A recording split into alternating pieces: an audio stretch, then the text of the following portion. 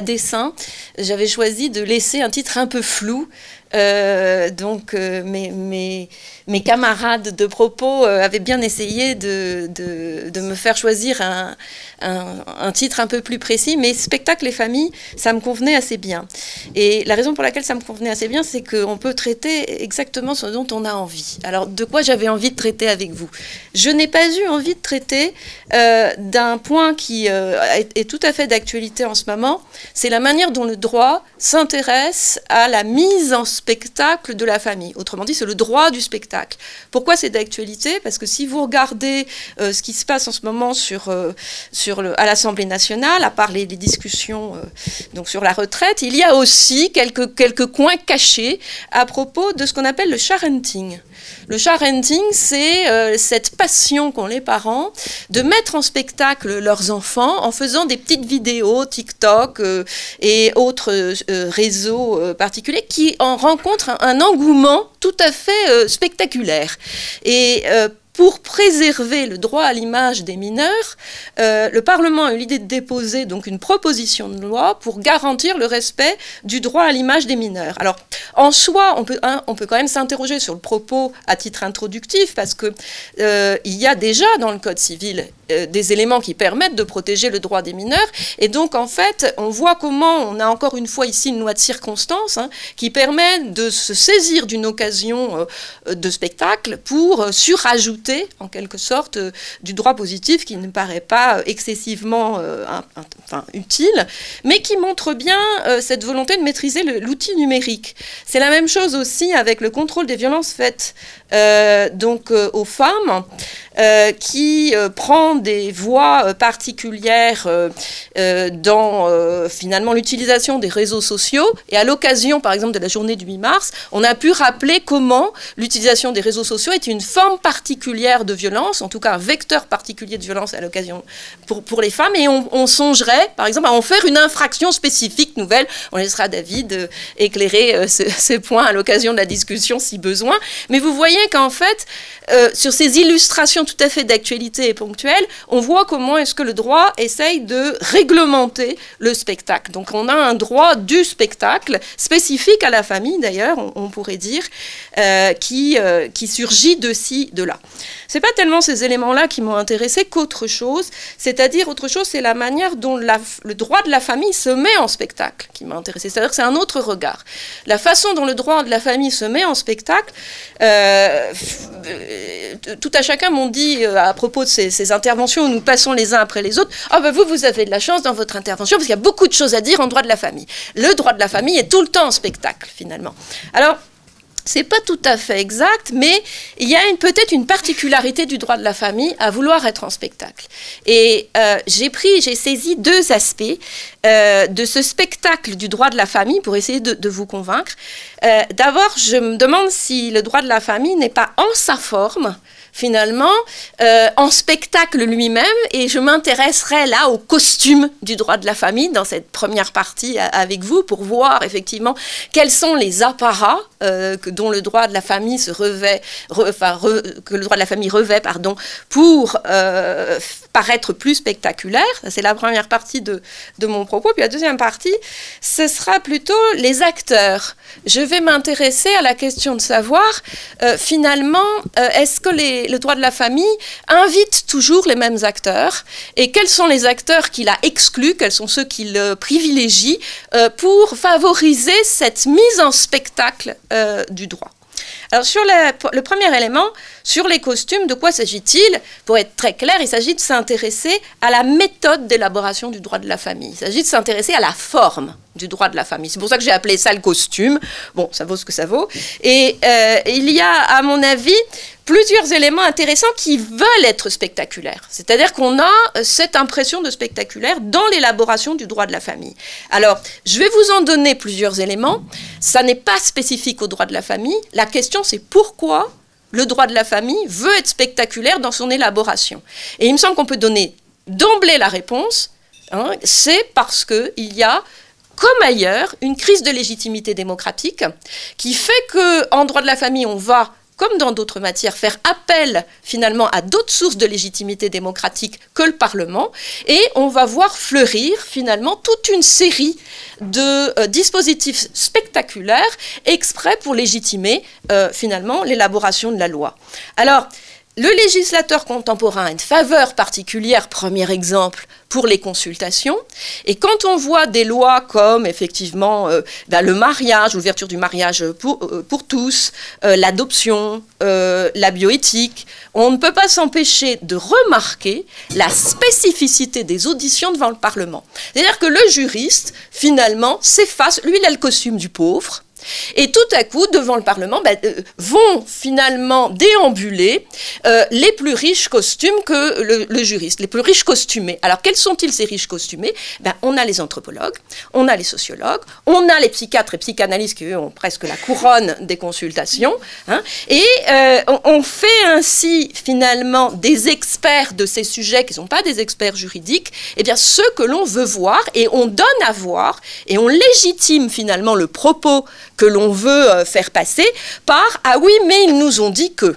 Et alors, on, est, on est, c'est pas nouveau du tout de faire ça, mais c'est spécifiquement important en droit de la famille. Et surtout, il y a euh, finalement une forme euh, de volonté des, parlementaires, et c'est dit euh, de multiplier les consultations avec transparence, c'est-à-dire qu'on fait appel à des personnalités qui ont écrit, qui, dont les noms circulent absolument sur, euh, sur toute la place publique en quelque sorte, qui s'expriment par ailleurs sur les médias, etc., pour avoir cette forme de légitimité. Donc voilà les beaux costumés. C'est aussi la, même chose, euh, dans un sens, il y a aussi du spectacle, euh, et là, là, la réforme de la bioéthique est une, une illustration très intéressante, dans la façon dont on va solliciter les citoyens. Euh, là, c'est autre chose. On n'est plus avec l'expert. J'ai fait exprès de mettre en balance les experts et les citoyens. On va vers le citoyen pour, pour avoir l'illusion d'eux. Je ne sais pas si ça fonctionne vraiment. Créer une autre forme de démocratie, une démocratie qu'on dit participative. Hein. Alors, on voit ça avec le processus des consultations citoyennes par voie électronique. Hein, qui est un processus qui a été mis en place, par exemple, à l'occasion des États généraux de la bioéthique. Mais on a aussi euh, les consultations citoyennes, qui, euh, vous, vous connaissez euh, très bien la consultation citoyenne sur le climat, où on, passe, on, on parle également de la consultation citoyenne sur la fin de vie, qui prend la forme d'une convention citoyenne. On a eu la convention citoyenne sur le climat, pardon, la convention citoyenne sur la fin de vie, mais on en avait beaucoup d'autres. on avait des... des consultations sur le grand âge et l'autonomie. Euh, et donc, en fait, on a une espèce de multiplication des sollicitations euh, des euh, citoyens qui sont vraiment annoncées sous forme spectaculaire. C'est-à-dire qu'on on annonce ça comme si c'était finalement une sorte de révolution d'élaboration du droit. Et c'est un effet spectacle. Pour quelle raison? Parce qu'on sait on n'a qu'à voir la Convention citoyenne sur le climat, hein, je peux faire le parallèle, mais le peu de conséquences qu'ont en réalité les conventions citoyennes et les délibérations, enfin les consultations citoyennes sur le fond même de l'élaboration de la réforme. C'est-à-dire qu'on fait un grand spectacle autour de tout ça pour n'en retirer que très peu en réalité. Donc ça, c'est euh, finalement euh, voilà la, manière dont on a costumé euh, les formes d'élaboration du droit. Si maintenant on s'interroge sur le paraître dans la, dans la merci, euh, si on s'intéresse au paraître dans l'élaboration même de la loi, c'est-à-dire, voyez, plus en amont, mais dans l'écriture des textes. Là aussi, il y a du paraître et des, et des vêtements. Euh, il y a quand même en droit de la famille énormément d'articles premiers à portée symbolique, peut-être plus qu'ailleurs, qui viennent nous rassurer sur finalement le contenu futur de la loi. Alors on connaît parfaitement, par exemple, parce que ça a été très médiatisé avec le discours de Simone Veil sur laquelle on, revient en ce moment, l'article premier de la loi de 1975 sur l'IVG, qui va commencer par annoncer qu'on va protéger la dignité de la personne et on sait comment l'aventure de cet article va devenir finalement un texte du Code civil que la jurisprudence va appliquer, mais voilà bien une façon finalement qu'on a voulu assez spectaculaire, en disant mais non, on va vous voyez, faire cet article de portée symbolique pour le peu euh, de, euh, de rapport qu'il avait avec le contenu de la loi. Également beaucoup de, costumes, si je puis dire, dans, les, dans le vocabulaire utilisé. Euh, le vocabulaire du droit de la famille aime bien être fleuri, un peu spectaculaire. On aime beaucoup les néologismes qui commencent à fleurir de part et d'autre, sans doute parce qu'il y a des concepts voyageurs en droit de la famille peut-être plus qu'ailleurs. On aime beaucoup se saisir de concepts qui viennent alors de la sociologie par-ci, de la psychiatrie par-là, euh, de euh, finalement la, la, philosophie éventuellement. D'ailleurs, des concepts d'ailleurs. Alors j'en donnerai deux exemples. Le mot féminicide, hein, qui est un terme, on sait, qui nous vient euh, d'outre-Atlantique et qui euh, progresse largement mais qui n'a pas encore fait son entrée en droit, mais qui est là comme apparat, une sorte d'apparat euh, pour démontrer et dénoncer les violences. Je pense au terme de parentalité, qui est une traduction littérale de parenthood, sauf que on ne sait pas très bien ce qu'il signifie, et d'ailleurs on va avoir du mal à faire la traduction du projet de règlement européen sur cette terminologie-là pour savoir laquelle on va choisir, si c'est filiation, parenté, responsabilité parentale. Donc vous voyez que les apparats ne euh, sont pas si nets que ça parfois. Et puis je pense à la terminologie d'inceste qui a fait son entrée dans le code pénal, avec l'évolution et les circonvolutions qu'on a vues. Il me semble que là aussi, il y a un mot symbolique, un mot un peu apparat, un costume qu'on a donné, qui euh, euh, finalement a eu une incidence sur l'aggravation de la peine, euh, mais qui, du point de vue de la qualification même, je parle sur le contrôle de David, n'a pas finalement l'impact qu'on aurait voulu avoir. Bon, j'avais d'autres exemples sur lesquels je passe assez rapidement pour vous parler maintenant des acteurs. Alors, tout à fait différent. Dans quelle mesure, et je pense que c'est là peut-être le lien qu'on fera, que je vais faire avec Martin et, Rebecca, euh, dans quelle mesure le droit de la famille choisit-il euh, ses acteurs et d'une manière un peu différente euh, qu'autrefois? Il y a trois éléments que je voudrais saisir avec vous à propos des acteurs. J'ai appelé acteurs, on pensera un certain nombre d'institutions, en réalité, qui euh, sont des institutions qui caractérisent l'existence pour moi, d'une forme de rituel en droit, c'est-à-dire de l'acception de la rentrée du, du, rituel en droit. Il y a trois éléments. Le premier élément, c'est on met les acteurs dehors. On met un certain nombre d'acteurs dehors, c'est-à-dire qu'il y a une forme de déritualisation du droit de la famille parce qu'on a mis ces acteurs dehors. Euh, c'est très simple, mais je, vais passer rapidement parce que je pense que Rebecca et Martin vont en parler, mais c'est très net sur toute l'évolution de la cérémonie du mariage. Euh, on cite assez euh, aisément, quand on fait un cours de première année, euh, la République, le, droit de la République à Rome et le mariage cum manu, et puis la formule ubi tu gaius, ibi ego gaia. eh bien, toutes ces formules sacramentelles, évidemment, ont disparu au fil de l'eau du droit et euh, sont, euh, ont été véritablement invités à disparaître. De la même manière, une autre formule que j'ai trouvé, un autre rituel que j'ai trouvé intéressant qui a été euh, sorti du droit pour des raisons de fond, c'est le, le, rapt de la mariée. C'est là-dessus d'ailleurs que j'avais commencé à m'interroger en me disant tiens j'aimerais bien travailler là-dessus et puis bon ça s'est trouvé un peu court comme j'ai trouvé ça un peu court comme, comme propos. Mais c'est en lisant la cité antique de Fustel de Coulanges, il, explique qu'à Rome et euh, donc euh, il y avait cette, euh, ce rituel par lequel la femme étant sous la puissance du mari, quand elle, de son père, pardon, quand elle se mariait, pour passer le seuil de la maison, elle était soulevée. Et cette forme finalement de rapt traduisait, je parle sous le contrôle de Pierre, je ne dis pas de bêtises, traduisait, explique-t-il, l'incapacité de la femme mariée à franchir seule le sol, parce qu'étant lui, il dit la, maison. En fait, il parle de la maison et des coutumes de la maison, euh, si, mes souvenirs sont bons. Étant sous la puissance de son père, elle n'avait pas la liberté euh, d'évoluer seule. Alors, c'est marrant de constater quand même que ce rituel du rapt, qui était une figure euh, qui signifiait quelque chose relativement à la capacité, est devenu dans le spectacle commun euh, une figure romantique que l'on trouve dans de nombreux films, et pas uniquement finalement des films à l'eau de rose ou ultra romantiques bébêtes, qui, qui, signifie quelque chose, mais non, mais qui signifie quelque chose de l'ordre de l'amour. voyez, alors que l'origine même du processus est quand même un peu moins euh, laudatif. L'explication euh, de ces déclins des rituels matrimoniaux, on la trouve euh, dans un texte de Bourdieu, et j'aime bien ce texte, euh, je trouve qu'il explique assez bien les choses. Dans son texte sur les rites euh, comme acte d'institution, en fait, il fait le lien entre la désinstitutionnalisation de la famille et la disparition d'un certain nombre de rituels liés à la cérémonie.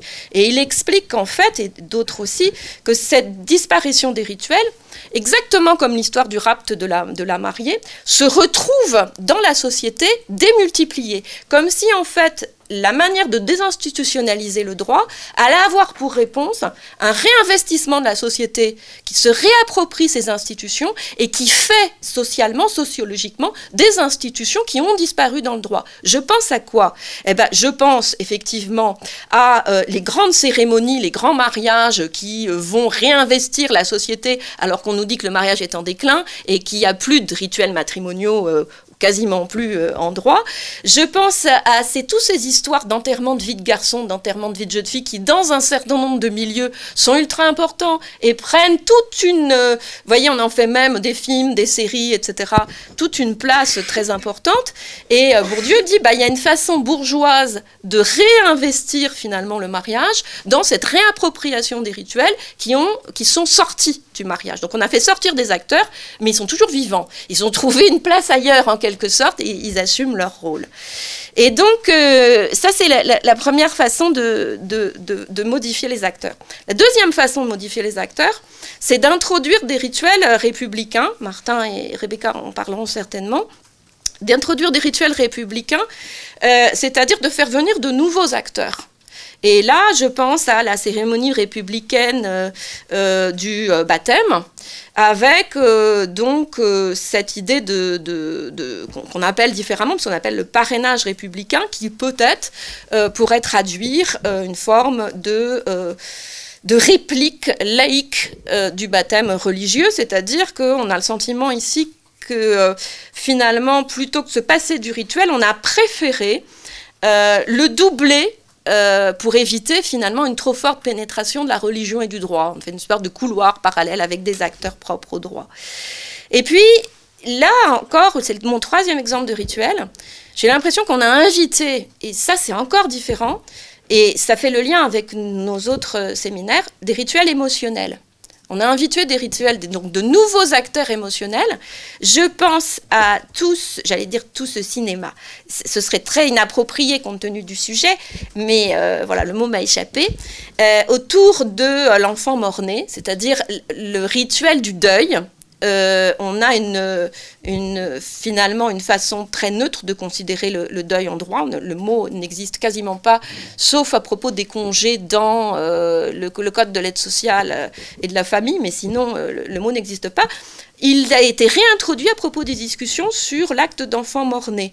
Et l'idée des parlementaires, euh, quand ils ont travaillé là-dessus, c'est de créer un espace rituel pour les parents en deuil. C'est-à-dire que finalement, l'acte d'enfant sans vie, qui est un papier, devient cet espace rituel émotionnel qui est réintroduit en droit et qui fait qu'on a un nouvel acteur qui vient dans le champ juridique. Je pense également à ce sujet à la proposition de loi qui avait euh, voulu introduire des funérailles républicaines, en montrant que bah, les familles confrontées au deuil avaient de plus en plus de mal à gérer, que personne, en fait, qu'il n'y avait pas de forme laïque d'accompagnement du deuil des familles, et qu'il fallait parallèlement finalement au rituel religieux, permettre aux mères de célébrer euh, des cérémonies civiles à l'occasion euh, du deuil.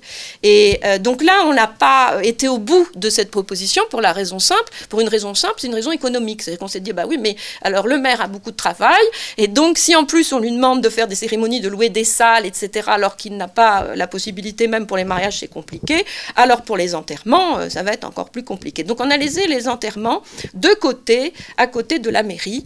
Euh, on n'a pas euh, introduit complètement euh, cet acteur.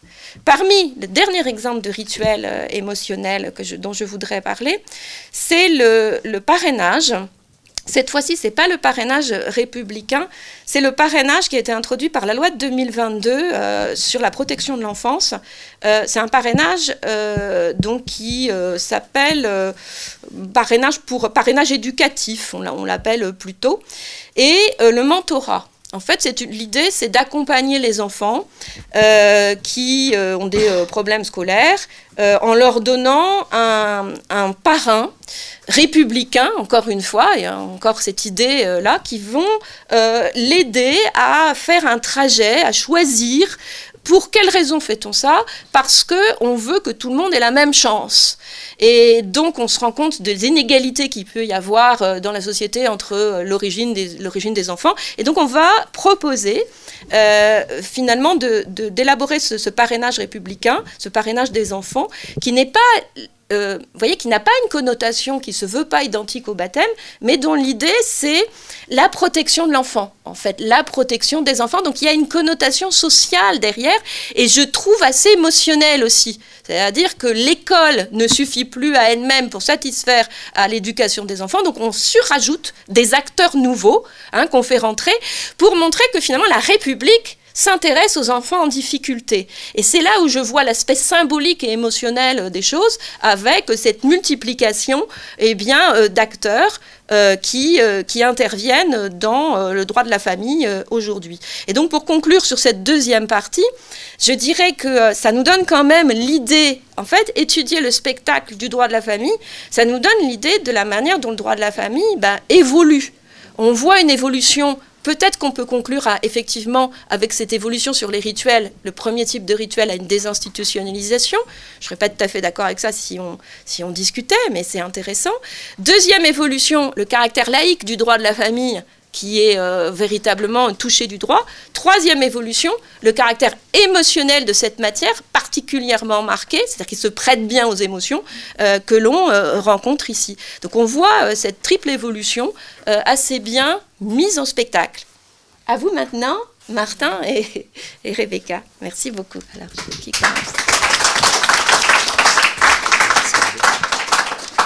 Bonjour à toutes et tous.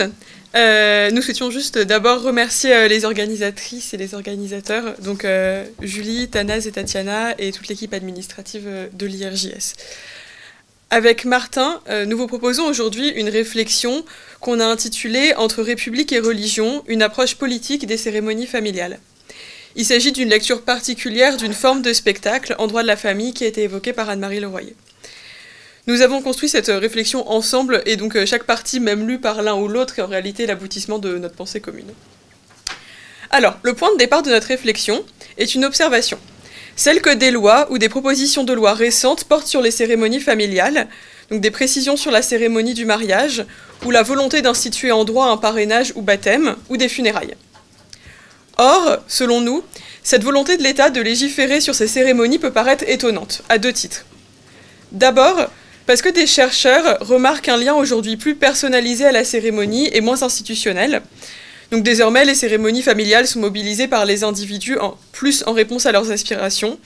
Et au-delà des cérémonies publiques, comme le mariage, cette idée se retrouve aussi dans des fêtes plus privées, ce qui a été évoqué euh, juste avant. Donc les enterrements de vie de jeunes filles ou de jeunes garçons, mais aussi les cérémonies de renouvellement de vœux du mariage, ou encore euh, les gender reveal parties. Mais ensuite, cette volonté est aussi étonnante parce qu'on observe une diminution du sentiment religieux et un rejet progressif des cérémonies qui l'accompagnent, comme par exemple les mariages à l'Église. Ce mouvement privilégie donc l'État comme institution régulant le domaine. Or, c'était précisément dans une volonté de sécularisation que s'étaient construites toutes ces cérémonies familiales civiles. Pourquoi alors les réinvestir dans le contexte actuel? Les interventions législatives dans ce contexte font postuler qu'au-delà du droit de la famille en lui-même, les cérémonies familiales joueraient un rôle particulier en droit, ce qui n'est pas sans rappeler par exemple l'importance symbolique de l'état civil. Selon nous, le cérémonial familial, qui semble pourtant s'individualiser hors des sphères institutionnelles, demeure un objet politique essentiel, comme il est en réalité depuis plus de deux siècles.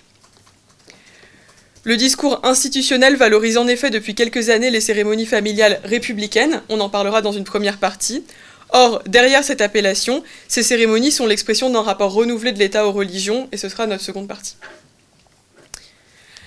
Donc l'institutionnalisation des cérémonies familiales passe par la promotion de ces cérémonies dites républicaines. Ces dernières années, on repère en effet une certaine demande qui vise à créer des cérémonies familiales au service de la République. À titre d'exemple, l'Observatoire de la laïcité en 2020 a fait des propositions en ce sens car ces rites seraient nécessaires pour faire vivre l'idéal républicain. L'Association des maires de France incite également les maires à proposer des cérémonies avec une empreinte républicaine plus affirmée. Même le président de la République, en s'adressant au Congrès des maires, leur a demandé d'unir et de rassembler les Français, notamment par des rites républicains.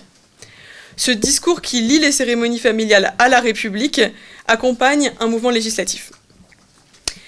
À l'appui donc de notre approche politique des cérémonies familiales, nous verrons que les lois qui concernent le mariage ont été amendées et que les pratiques de parrainage et de funérailles ont fait l'objet, elles, de tentatives d'institutionnalisation. Et ce sont euh, les deux temps de, euh, de la première partie de notre raisonnement. Alors d'abord, le caractère républicain est une caractéristique supplémentaire qui était ajoutée au mariage. En fait, la cérémonie du mariage est aujourd'hui totalement encadrée par le droit. Et plus précisément par le Code civil, ce sont ces articles 75 et 165 notamment. Alors le lieu, la mairie, la lecture par l'officier d'état civil des articles du Code civil sur les devoirs des époux et sur l'autorité parentale. Mais surtout, il est prévu que l'officier de l'état civil recevra de chaque partie l'une après l'autre la déclaration qu'elles veulent se prendre pour époux, qu'il prononcera au nom de la loi qu'elles sont unies par le mariage et qu'il fera l'acte de mariage. Et cet article-là, ce n'est pas l'héritage du Code civil de 1804, ça remonte avant, c'est l'héritage d'un décret de 1792. Or, récemment, on peut observer une volonté curieuse d'associer cérémonie du mariage et république. D'une cérémonie publique, le mariage devient en effet cérémonie publique et républicaine à partir de la loi du 17 mai 2013 qui ouvre le mariage aux couples de même sexe. Et ce changement s'inscrit euh, dans un contexte, celui où, euh, selon l'amendement qui propose ce changement, l'ouverture du mariage aux personnes de même sexe fait aujourd'hui progresser encore cette institution dans le champ des valeurs de notre République. Et cet ajout euh, de la loi a été à nouveau rappelé en 2016. C'est la loi J21 qui permet de célébrer le mariage non plus seulement dans la mairie, mais aussi dans tout bâtiment communal. Et euh, c'est seulement à condition que le procureur de la République veille à ce que la décision du maire de le célébrer dans tout bâtiment communal garantisse les conditions d'une célébration solennelle, publique et républicaine. Et ce mouvement de républicanisation de la cérémonie matrimoniale n'est pas isolé. Il s'est étendu à ce qu'on appelle le principe d'antériorité du mariage civil.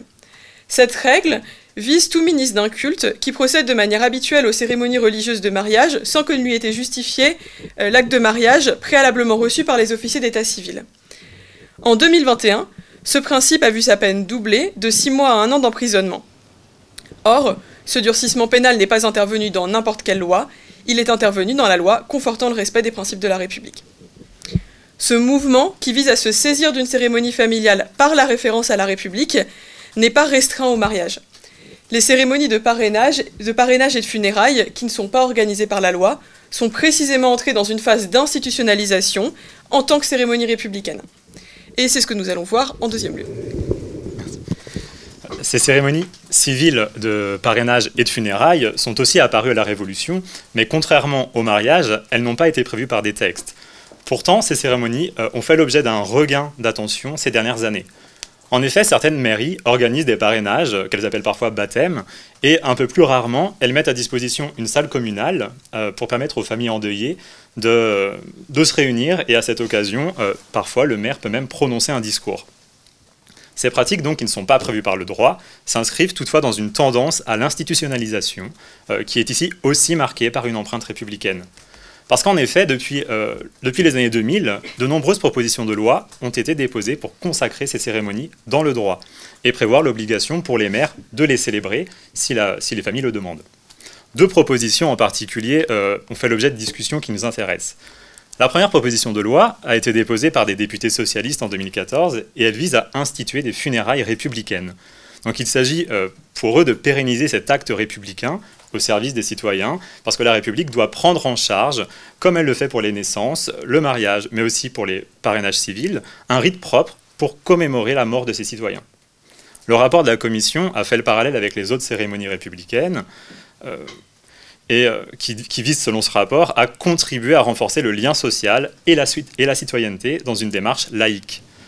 Par ailleurs, le rapport invoque aussi les valeurs de la République, dans lesquelles ces cérémonies s'inscrivent pleinement en séance publique, on a souligné le fait que ce projet était d'esprit profondément républicain, et la proposition de loi, elle a été adoptée, enfin, elle a été votée en 2016, renvoyée au Sénat, mais comme l'a dit euh, Madame Leroyer, euh, les sénateurs n'en ont pas voulu parce que ça donnait trop d'obligations euh, pour, pour les municipalités. La seconde proposition de loi qui nous intéresse a été déposée en 2015 par des sénateurs, cette fois, sénateurs socialistes, et elle est relative au parrainage civil. Il s'agit de célébrer l'engagement de parrains et de marraines qui promettent de prendre en charge un enfant si ses parents venaient à disparaître. La proposition de loi précise, et ça c'est ce qui nous intéresse, que ces parrains et marraines s'engagent à développer en l'esprit de l'enfant les qualités indispensables qui lui permettront de devenir un citoyen dévoué au bien public. Le rapport insiste précisément sur le fait que ce parrainage permet d'accompagner l'enfant dans son apprentissage de la citoyenneté et des valeurs républicaines. Et pour appuyer cette portée symbolique, le rapport décide même de renommer ce parrainage civil en parrainage républicain. Lors de la discussion en séance publique, euh, la majorité des groupes politiques euh, ont approuvé cet acte symbolique d'adhésion aux valeurs de la République, et la secrétaire d'État qui était présente s'est même félicitée de cette proposition de loi en disant que c'était une importante euh, potentialité de restauration du vivre ensemble républicain. Cette proposition de loi a été adoptée en 2015, elle a été renvoyée à l'Assemblée nationale qui ne s'en est cependant toujours pas saisie. Au-delà de ces deux propositions de loi, on peut également noter que l'attention contemporaine sur l'aspect républicain de ces cérémonies familiales euh, a pu s'accompagner d'un changement terminologique.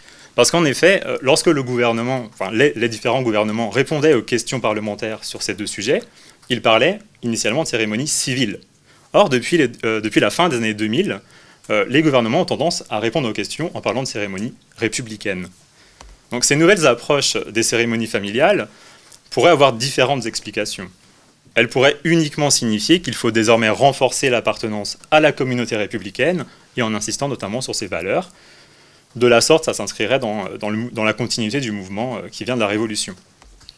On pourrait également voir dans ces cérémonies un témoignage de la volonté de l'État d'investir des célébrations qui sont recherchées dans la pratique, dans les faits, par les citoyens. Mais sans incompatibilité avec ces deux premières euh, propositions, nous pensons que cette nouvelle façon d'appréhender les cérémonies familiales par la référence à la République euh, semble exprimer un rapport renouvelé de l'État aux religions. Et c'est ce qui fait l'objet de notre seconde partie. Cette approche des cérémonies, en réalité, elle n'est pas nouvelle. Les cérémonies familiales civiles, elles ont justement été construites par rapport au lien entre État et religion. Nous le verrons donc dans un premier temps. Et aujourd'hui, le recours au terme républicain marque une nouvelle tension dans ce lien, et c'est ce que nous verrons dans un second temps. Alors d'abord, les cérémonies familiales, elles sont marquées par un lien ancien entre État et religion. De nombreux chercheurs observent la famille comme une institution au service de l'État. Et cette perspective a été prégnante au moment de la Révolution et dans l'élaboration du Code civil. Par exemple, Portalis affirmait que la durée et le bon ordre de la société générale tiennent essentiellement à la stabilité des familles, qui sont les premières de toutes les sociétés, le germe et le fondement des empires. En fait, la famille a été un lieu de sécularisation de l'État au moment de la Révolution, et les cérémonies familiales ont été des outils symboliques au service de cet objectif de sécularisation. Dès un, décret de 1792, la cérémonie du mariage a été encadrée par la loi laïque, et c'est l'origine de l'article 75 du Code civil dont nous parlions précédemment. En réalité, la sécularisation du mariage est passée par la ritualisation civile du cérémoniel religieux qui préexistait. Et Jean Gaudemet, un historien du droit, le résume clairement. C'était la transposition, je cite, dans le monde laïque, des formes prescrites par le Concile de Trente, l'officier public venant prendre la place du curé. Le Concile de Trente prévoyait en effet euh, les formes du mariage religieux. Et c'est aussi à cette période que le principe d'antériorité du mariage civil, dont nous parlions aussi précédemment, a été mis en place. Il y a eu certes une justification de ce principe euh, qui a existé de la protection des jeunes filles, mais elle n'occulte pas un objectif politique, qui est la soumission de la cérémonie religieuse au mariage civil. Et le Code civil a conservé cet héritage révolutionnaire. Il y a même ajouté la lecture des articles du Code civil, hautement symbolique. Et ainsi, pour Rémi Cabriac, le caractère sacré du mariage repose désormais non plus sur un fondement religieux, mais sur un fondement civil, l'intérêt de la famille que va faire naître le mariage, et au-delà, l'intérêt de la société et de l'État. Cette même volonté de distanciation de l'État par rapport à l'Église s'est retrouvée dans les parrainages. Alors, dans le décret de 1792 et dans le Code civil, il n'est pas question d'organiser une cérémonie à la naissance de l'enfant. Mais on peut tout de même rapprocher la déclaration de naissance du baptême religieux. Dans les deux situations, l'enfant est présenté à une autorité, soit civile, soit religieuse. Il reçoit un prénom et la scène se fait devant des témoins. De plus, on peut noter que malgré l'absence de cérémonie civile organisée par la loi, dans la pratique, des célébrations laïques ont été organisées en plus de la déclaration de naissance dans les premiers temps de la Révolution. Il s'agissait à la fois d'un détachement de la Révolution et d'un attachement aux valeurs révolutionnaires. Et en ce sens, il y a un autre décret de 1792 qui a prévu que la naissance de l'enfant soit célébrée publiquement devant un hôtel de la patrie érigé sur la place publique. finalement, l'instauration du concordat a conduit à la quasi-disparition de, toutes ces cérémonies laïques. Mais ce premier temps, celui de la sécularisation lors de la Révolution, qui a été en partie hérité par le Code civil, a été suivi d'un second temps sous la Troisième République. Et les cérémonies familiales ont été à nouveau mobilisées à cette période, ce qui témoigne de leur place en tension entre État et Église. Alors, ce lien avec la religion, il est évidemment d'abord marqué par la loi de 1905 de séparation des églises et de l'État sous la Troisième République. Or, cette loi ne régit pas du tout les diverses cérémonies civiles. Mais en réalité, les débats parlementaires ont interrogé le devenir du principe d'antériorité du mariage civil à cette occasion. Elsa Forêt montre justement qu'un amendement proposait d'abroger cette infraction, parce que, je cite, un État qui ne reconnaissait plus aucun culte devait se désintéresser de l'acte par lequel les couples célèbrent leur union religieusement. Autrement dit, la loi de 1905 proposait une relation différente entre État et religion, qui était fondée sur la neutralité, et cette relation-là devait bousculer le rapport de sécularisation qui avait été entretenu jusqu'ici sur la cérémonie matrimoniale. Or, les dispositions furent maintenues telles quelles. Précisément, sous l'argument qu'elles ne sont pas une conséquence nécessaire de l'organisation officielle des cultes, il s'agissait de mesures d'ordre public qui étaient prises dans l'intérêt de l'état civil des citoyens. Et cette conception des textes a en réalité été complètement reprise par la Cour de cassation dans un arrêt de 1906. Au-delà de la loi de 1905, la Troisième République, de manière plus générale, avant comme après cette loi-là, a été un moment de développement des pratiques et des législations sur les cérémonies familiales. Alors, elle a permis de voir se développer d'abord la cérémonie civile du mariage, qui était délaissée par les couples qui n'y voyaient qu'une formalité administrative, jusque-là. Mais pour les baptêmes, on trouve une évolution similaire. Ils sont réapparus à la fin du XIXe siècle, comme le montrent les travaux d'Antoine Mandré Desgailles, il ne s'agit donc toujours pas d'une pratique institutionnelle, euh, mais le réinvestissement dans les baptêmes laïques se fait d'abord dans la pratique. Pour certains militants, il s'agit de s'opposer délibérément à la religion en proposant un baptême qu'on euh, nomme désormais civil. Et après la Première Guerre mondiale, la pratique a tendance à s'institutionnaliser car elle est mobilisée par les mairies socialistes et communistes pour marquer leur politique anticléricale. Alors les funérailles, elles, connaissent une évolution peut-être un peu plus mitigée. La volonté militante d'avoir des funérailles civiles en opposition aux funérailles religieuses avait été limitée par le monopole des pompes funèbres qui avait été conféré aux églises sous le Concordat. Mais les lois de la Troisième République ont changé le régime des funérailles en prévoyant leur laïcisation. Elles ont par exemple transféré le monopole des églises aux municipalités euh, en 1904 et elles ont consacré euh, la liberté de choisir des funérailles civiles ou religieuses en 1887. Mais cette loi est très intéressante. C'est la loi de 1887 parce qu'elle prévoit que la célébration des obsèques qui ne respectent pas les volontés du défunt est sanctionnée, par exemple lorsqu'une célébration religieuse a, a lieu alors que le défunt avait opté pour des funérailles civiles. Or, la sanction est justement un renvoi explicite aux articles sanctionnant la violation du principe d'antériorité du mariage civil. On voit donc un lien juridique qui unit les cérémonies civiles dans leur rapport à la religion. Les funérailles sont toutefois restées de leur côté majoritairement organisées par les églises, et sauf à très rares exceptions, les municipalités euh, ne s'en sont pas saisies pour offrir une cérémonie qui permettait de concurrencer les cérémonies religieuses, comme pour le mariage ou le baptême. Il s'agit donc pour ces cérémonies civiles d'exister avant tout comme une opposition affirmée aux cérémonies religieuses, que ce soit dans la pratique des individus ou dans la pratique municipale. À notre sens, c'est dans un rapport similaire que s'inscrivent aujourd'hui ces nouvelles cérémonies républicaines. En effet, en insistant sur leur dimension républicaine, le réinvestissement politique actuel des cérémonies familiales pourrait aussi être, par la laïcité, l'expression d'une démarcation du fait religieux. D'abord, l'ajout dans, la loi du 17 mai 2013 du qualificatif républicain au mariage est tout à fait révélateur de cette logique. Parce qu'en 1999, lors de l'examen de la loi sur le Pax, les parlementaires avaient écarté l'idée d'une célébration en mairie pour préférer un enregistrement au greffe du tribunal d'instance. Parmi les raisons qui ont justifié ce choix, on avait surtout l'idée de rejeter toute assimilation euh, avec la cérémonie du mariage, qui était une cérémonie euh, solennelle et symbolique. Cette justification peut s'analyser comme un compromis qui a été opéré entre la volonté d'instituer une nouvelle forme de conjugalité pour les, couples de personnes de même sexe, et le souhait euh, de ne pas remettre en cause une certaine conception religieuse de la famille qui imprégnait les débats parlementaires, qui étaient assez violents à l'époque. Au contraire, en 2013, l'ouverture du mariage aux couples de même sexe s'est réalisée dans un fort contexte d'opposition entre la majorité parlementaire de gauche et l'Église. Et c'est justement à cette occasion que les parlementaires ont souhaité affirmer le caractère républicain de la cérémonie du mariage. L'amendement qui a introduit cette modification a précisé que le mariage est aussi, depuis la Révolution française, une institution laïque, et le rite civil qui l'entoure en atteste. Le rapporteur du texte a aussi souligné la différence qui existe entre le mariage civil républicain et le mariage religieux. Ce changement intervient donc dans un contexte de lutte entre l'État et les églises autour de l'institution du mariage.